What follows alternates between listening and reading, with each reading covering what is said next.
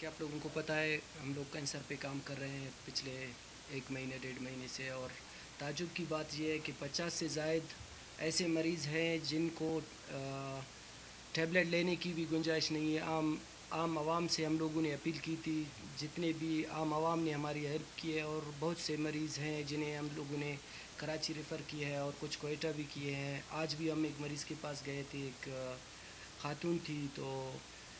माशाल्लाह सौ बच्चों को कुरान पाक पढ़ा रही है और उसको बाएँ हाथ में कैंसर हुआ है दो साल से। तो हम आम आवाम से हमें हर दफ़ा